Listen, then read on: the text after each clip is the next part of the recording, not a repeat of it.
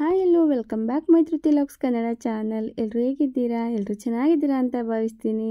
ಇನ್ನು ಯಾರಾದರೂ ನನ್ನ ಚಾನಲ್ಗೆ ಹೊಸೊಬ್ಬರು ಸಬ್ಸ್ಕ್ರೈಬ್ ಮಾಡ್ಕೊಳ್ದೆ ವಿಡಿಯೋ ನೋಡ್ತಿದ್ರೆ ಪ್ಲೀಸ್ ಸಬ್ಸ್ಕ್ರೈಬ್ ಮಾಡಿಕೊಂಡು ವಿಡಿಯೋನ ಪೂರ್ತಿ ನೋಡಿ. ಹಾಗೆ ಇವತ್ತು ಇದ್ಕಿರೋ ಅಂಥ ಅವರೆಕಾಳಿನ ಸಾಂಬಾರು ಮಾಡೋದು ಹೇಗೆ ಅಂತ ನಾನು ನಿಮ್ಮ ಜೊತೆ ಶೇರ್ ಮಾಡ್ತಾ ಇದ್ದೀನಿ. ಬನ್ನಿ ಯಾವ ರೀತಿ ಮಾಡೋದಂತ ನೋಡೋಣ.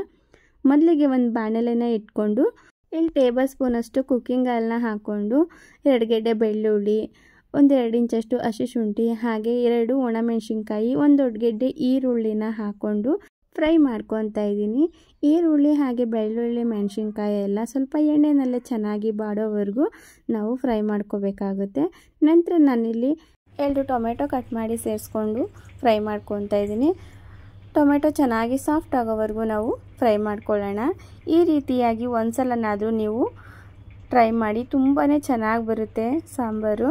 ಹಾಗೆ ಸ್ವಲ್ಪ ಕರಿಬೇವಿನ ಸೊಪ್ಪು ಕೂಡ ಸೇರಿಸ್ಕೊತಾ ಇದ್ದೀನಿ. ನನ್ನ ಚಾನಲ್ಗೆ ಇನ್ನು ಯಾರೆಲ್ಲ ಸಬ್ಸ್ಕ್ರೈಬ್ ಮಾಡ್ಕೊಳ್ದೆ ವಿಡಿಯೋ ನೋಡ್ತಾ ಇದ್ದೀರೋ, ಪ್ಲೀಸ್ ಸಬ್ಸ್ಕ್ರೈಬ್ ಮಾಡಿಕೊಂಡು ವಿಡಿಯೋನ ಪೂರ್ತಿ ನೋಡಿ. ಹಾಗೆ ಸ್ವಲ್ಪ ತೆಂಗಿನಕಾಯಿ ಸೇರಿಸ್ಕೊತಾ ಇದ್ದೀನಿ.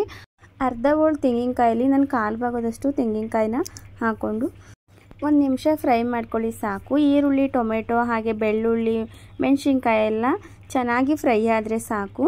ಹಾಗೆ ಲಾಸ್ಟಕ್ಕೆ ಸ್ವಲ್ಪ ಕೊತ್ತಂಬರಿ ಸೊಪ್ಪನ್ನ ಕೂಡ ಹಾಕ್ಕೊಂಡು ನಾನಿಲ್ಲಿ ಇದನ್ನು ಮಸಾಲನ ಗ್ರೈಂಡ್ ಮಾಡ್ಕೊಳ್ಳೋಕ್ಕೆ ತಣ್ಣಗಾಗೋಕ್ಕೆ ಬಿಡೋಣ. ಸೊಪ್ಪೆಲ್ಲ ಏನು ಫ್ರೈ ಮಾಡ್ಕೋಬೇಕಂತ ಏನಿಲ್ಲ. ಇದರಲ್ಲಿರುವಂಥ ಬಿಸಿಗೆನೆ ಅದು ಸ್ವಲ್ಪ ಬಾಡ್ಕೊಳ್ಳುತ್ತೆ.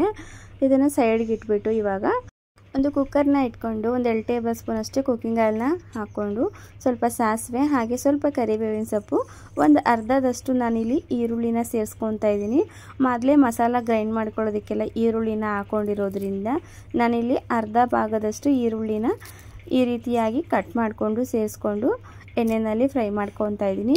ಈರುಳ್ಳಿ ಸ್ವಲ್ಪ ಹೊತ್ತು ಸಾಫ್ಟ್ ಆಗೋವರೆಗೂ ಚೆನ್ನಾಗಿ ಫ್ರೈ ಮಾಡ್ಕೊಂಡಾದಮೇಲೆ ನಾವಿಲ್ಲಿ ಅವರೆಕಾಳನ್ನ ಸೇರಿಸ್ಕೋಬೇಕಾಗುತ್ತೆ. ಈಗ ಅವರೆಕಾಳನ್ನು ಕೂಡ ಸೇರಿಸ್ಕೊಂಡು, ಅವರೆಕಾಳನ್ನ ನಾವು ಎಣ್ಣೆನಲ್ಲೇ ಒಂದು ನಿಮಿಷನಾದರೂ ಚೆನ್ನಾಗಿ ಫ್ರೈ ಮಾಡ್ಕೊಂಬಿಡಿ.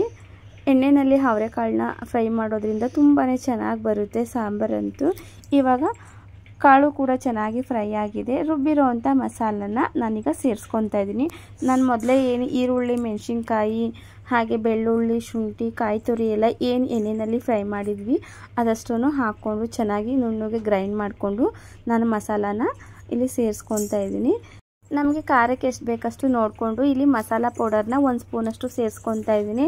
ಮೊದಲೇ ಮಸಾಲ ಗ್ರೈಂಡ್ ಮಾಡ್ಕೊಳ್ಳೋದಕ್ಕೆ ಎರಡು ಒಣಮೆಣ್ಸಿನ್ಕಾಯಿ ಕೂಡ ಹಾಕ್ಕೊಂಡಾಗಿದೆ. ಇಲ್ಲಿ ನೋಡಿಕೊಂಡು ಮಸಾಲ ಪೌಡರ್ನ ಸೇರಿಸ್ಕೋಬೇಕಾಗುತ್ತೆ. ಮಸಾಲ ಪೌಡರ್ನ ಹಾಕ್ಕೊಂಡು ಚೆನ್ನಾಗಿ ಒಂದು ಮಿಕ್ಸ್ ಕೊಟ್ಟು ಸಾಂಬಾರಿಗೆ ನಾನೀಗ ನೀರನ್ನ ಕೂಡ ಸೇರಿಸ್ಕೊತಾ ಇದ್ದೀನಿ. ನೀರು ನೋಡಿಕೊಂಡು ಹಾಕ್ಕೊಳ್ಳಿ ಮೊದಲೇ ನೀರು ಜಾಸ್ತಿ ಆಗಿಬಿಟ್ರೆ ಅಷ್ಟು ಚೆನ್ನಾಗಿರಲ್ಲ.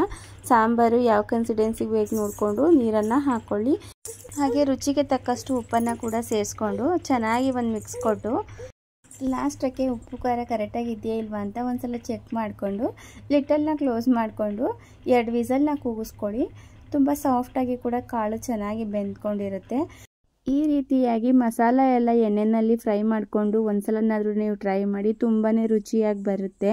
ಇವಾಗ ಲಿಟಲ್ ಕೂಡ ಓಪನ್ ಮಾಡಿ ತೋರಿಸ್ತಾ ಇದ್ದೀನಿ. ಸಾಂಬಾರು ತುಂಬಾ ಟೇಸ್ಟಿಯಾಗಂತೂ ಚೆನ್ನಾಗಿ ಬಂದಿತ್ತು. ನೀವು ಒಂದ್ಸಲ ಟ್ರೈ ಮಾಡಿ ಹೇಗೆ ಬಂತು ಅಂತ ಕಮೆಂಟ್ ಮೂಲಕ ತಿಳಿಸಿ. ಹಾಗಿದ್ರೆ ಈ ವಿಡಿಯೋ ನಿಮಗೆ ಇಷ್ಟ ಆಗಿದೆ ಅಂತ ಭಾವಿಸ್ತೀನಿ. ಇಷ್ಟ ಆಗಿದ್ರೆ ಪ್ಲೀಸ್ ಲೈಕ್ ಮಾಡಿ ಶೇರ್ ಮಾಡಿ ಕಮೆಂಟ್ ಮಾಡಿ. Thank you for watching my video